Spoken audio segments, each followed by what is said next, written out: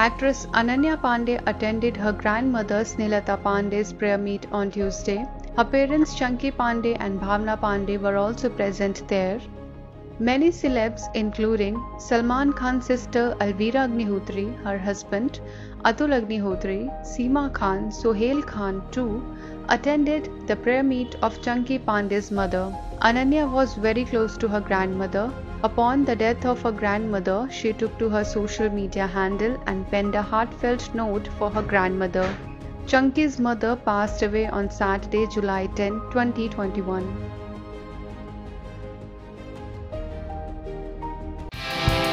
Subscribe to our channel. Just click on the bell icon for all the latest updates.